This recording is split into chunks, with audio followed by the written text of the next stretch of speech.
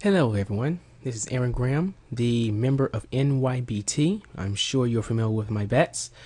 I'm putting up a tutorial on how to use the SimCity 4 plugin manager. Alright, here it goes on my desktop SC4 PIM. We're going to double click it. It come up. It should come up soon. Alright, here we go. You get a um, a small pop-up about what you need to what you want to load up into plugins manager.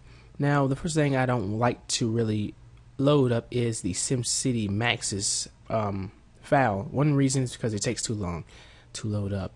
So you can just do that. You can just uncheck it. That depends that's up to you.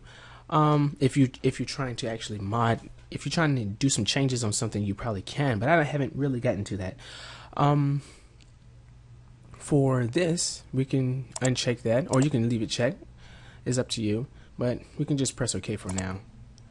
Um, but the one thing to know, um, the more stuff you have in your plugins manager, the longer it will take. That's for sure. Okay, now here we're going to click on our standard models, and as you see, these are the models that are actually in my plugins folder. Well, mine is kind of empty right now. Um, we're going to play around with the NYBT Kingsbridge Apartments Dark Knight. Okay, so as you can see, how do we actually make a DSC? I mean, yeah, a DESC file? Well, actually, you have to drag it into this area, and as you can see, they got different type of things. Like if you trying to make an office building, that's down here, commercial office.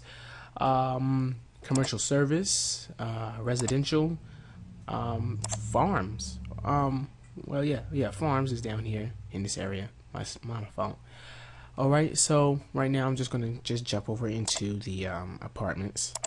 So I'm just gonna get this. This is the Kingsbridge. We're just gonna drag into Low Wealth. Okay, we can leave the name as it is. Now this is how we actually change our properties or or the basic or some of the properties. You you could change most of them or them all of them actually in the reader. Okay, so we're just gonna click on this. This is the inter um, filling degree.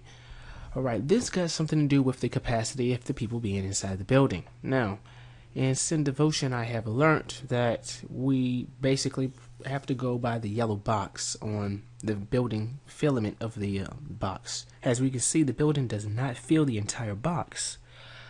So my estimate is usually um, for actually for this building, I think I went by 60. So I'm just gonna press six. And we're gonna press OK. Now you can see that the capacity has actually changed from R dollar sign or low wealth for those who doesn't know um, to 707 people. Yeah, that's a lot of people inside a building. Okay. Um, right here is the LTEXT multi, yeah, multilingual. This is usually a, I think it's supposed to have something. Yeah, well, yeah, for um trans um translating, and we're just gonna leave it as it is. I mean, you actually don't have to really click on that. That's what I usually do for NYBT or all my work. I always do it that way. But that's up to you if you want to try to work with the pros. Um, I'm not really a pro, so I'm trying to get up there. All right, create a global lot for this building. Um, click this and you'll get a small pop-up lot creation.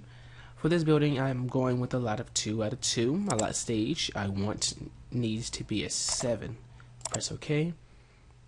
Okay, you get another window. And this is your lot. Can you do some changes on it? I'm not really sure. I haven't. Yeah, you can. You can change it. You know, the lot stage if you if you need to. If you made a mistake, but I'm gonna leave it as that. Um, dependency listing. You can look around through here for dependencies. I really don't mess with that.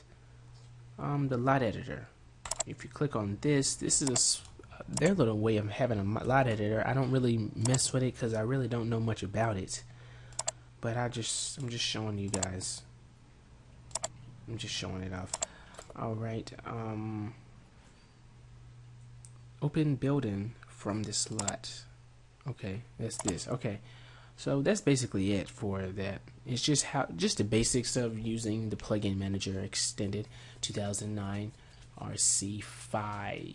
Yes. All right, and that's it.